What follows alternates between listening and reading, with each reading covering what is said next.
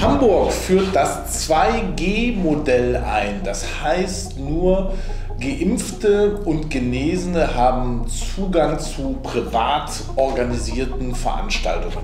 Damit werden Ungeimpfte vom gesellschaftlichen Leben ausgeschlossen. Was davon juristisch zu halten ist, verrate ich in diesem Video.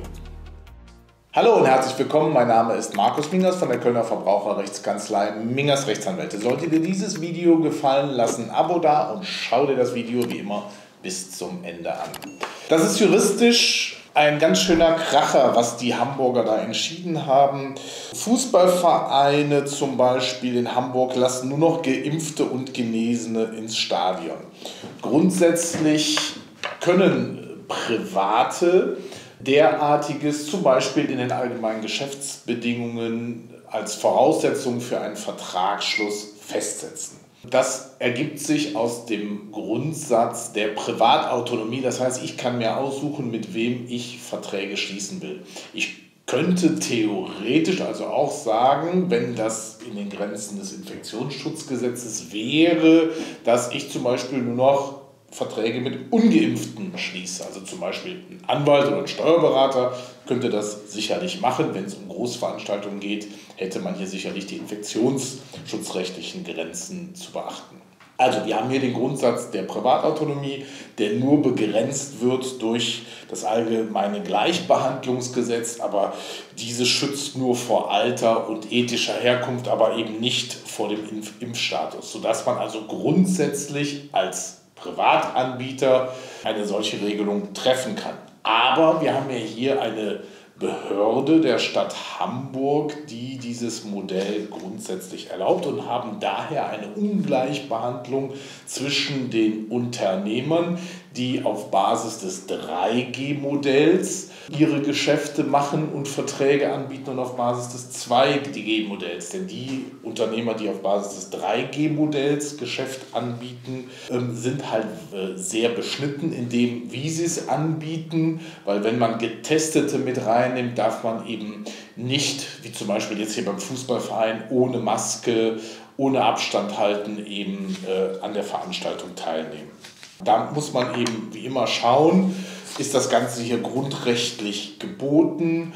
Ähm, was sagt die Verfassungsmäßigkeit? Und da sind wir wie immer beim Grundsatz der Verhältnismäßigkeit. Also rechtlich zulässig wäre das Ganze dann, wenn es dafür ein legitimes Ziel gibt und die Einschränkungen erforderlich und geeignet sind, dieses Ziel zu erreichen. Dafür sind zwei tatsächliche Fragen von entscheidender Bedeutung. Also erstens, gehen von den Geimpften weniger Gefahren aus als von den ungeimpften und zweitens sind diese Einschränkungen für die nicht geimpften wirklich erforderlich für den Gesundheitsschutz der Bevölkerung. Also erste Frage ist, gehen von den geimpften weniger Gefahren aus?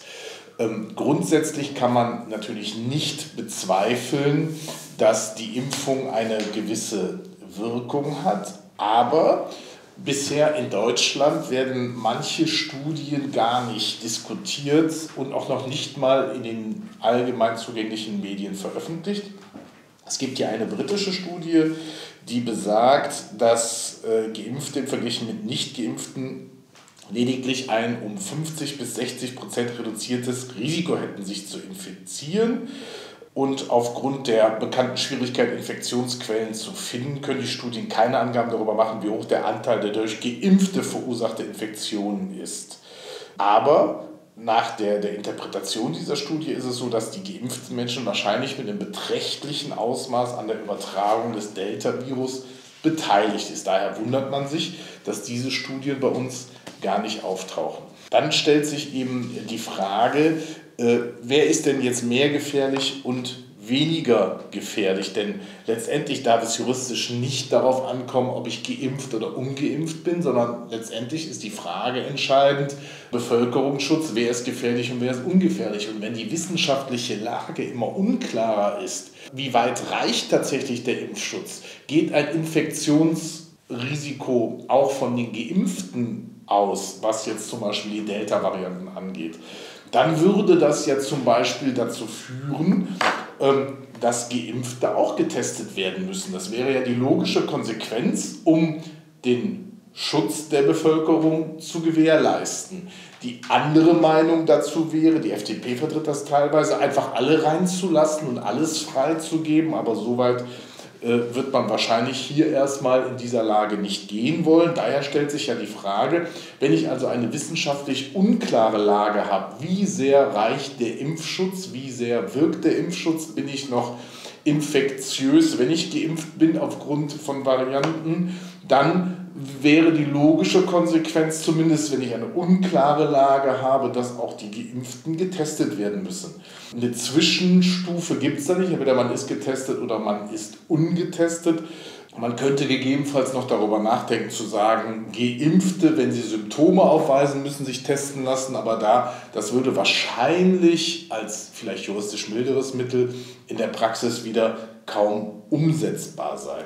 Das heißt, im Wege des Bevölkerungsschutzes dürfte eben, dürfen diese Studien bezüglich der Impfungen nicht einfach billigend in Kauf genommen werden, sodass die Frage, ob von den Geimpften weniger Gefahren ausgehen als von den Ungeimpften, nicht klar beantwortet werden kann. Es wird nicht wegdiskutiert, dass die Impfung wahrscheinlich sicherlich sinnvoll ist und auch einen gewissen Schutz bietet. So sagt es ja auch das Robert-Koch-Institut, aber wahrscheinlich doch nicht so weitreichend wie ursprünglich angenommen. Und daher auch die zweite Frage, dann sind die Einschränkungen für die Nichtgeimpften wirklich erforderlich für den Gesundheitsschutz ähm, der Bevölkerung. Wenn also schon die erste Differenzierung hier nicht klar ist, dann kommt man bei der zweiten Frage natürlich auch in einen gewissen Diskussionsbedarf, denn die, die Verhältnismäßigkeit hier hängt vom Infektionsgeschehen ab. Und jetzt möchte man die Inzidenzwerte abschaffen, weil man sagt, das ist nicht mehr der richtige Messwert. Man hat die, den Grad der Hospitalisierungen, hier hat man aber auch noch keine richtigen belastbaren Werte. Stichwort auch äh, Subventionsbetrug von Krankenhäusern.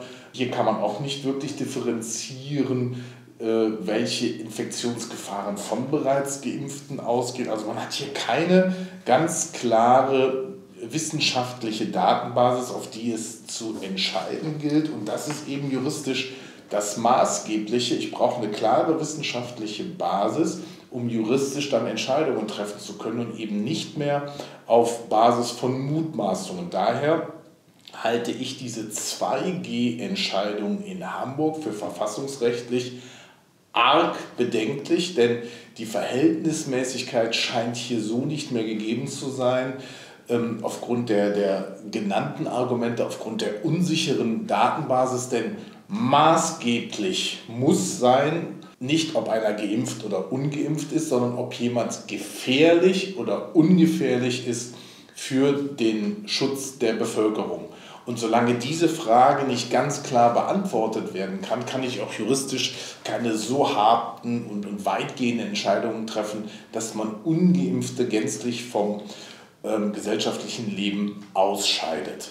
Wenn man sich so sicher ist, was die Impfung angeht, wie zum Teil auch das Robert Koch Institut ähm, auf, auf seiner Seite verlautbart, dann wäre es ja so, dass von den Geimpften keinerlei Gefahr mehr ausginge. Dann käme man juristisch zu dem Argument, dass das eine äh, äh, selbstverantwortende Gefährdung ist der Ungeimpften. Sie haben ein Impfangebot, sie entscheiden sich dagegen und das ist dann eine gewisse Selbstverantwortung, dass sie sich diesen Risiken aussetzen. Ähnlich allgemeines Lebensrisiko, das Beispiel nehme ich immer gerne, weil es so plastisch ist. Im allgemeinen Straßenverkehr setzt sich jeder von uns unüberschaubaren Risiken täglich aus.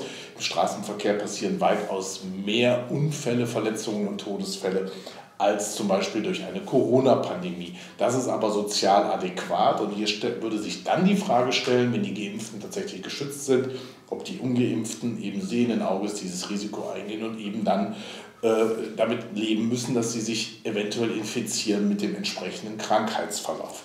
Und dann hätten, würden wir juristisch auch wieder dazu kommen, dass es unverhältnismäßig wäre, diese vom gesellschaftlichen Leben auszuscheiden. Also all diese Dinge müssen juristisch auf jeden Fall bedacht werden. Ich halte zum jetzigen Zeitpunkt diese 2G-Maßnahmen für absolut unverhältnismäßig und damit verfassungswidrig.